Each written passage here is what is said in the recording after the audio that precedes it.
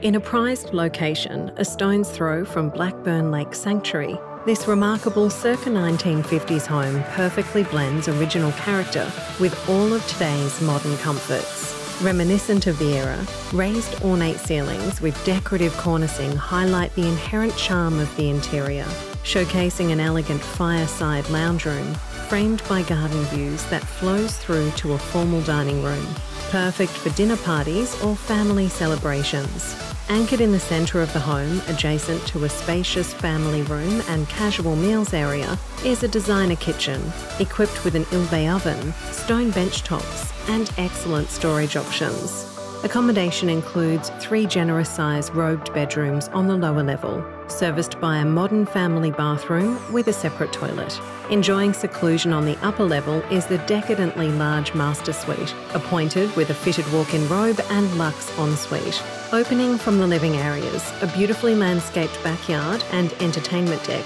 creates the ideal environment for alfresco dining and relaxing in the outdoors. For more information, please contact Linda Azzopardi and Peter Schenk at Ray White Blackburn.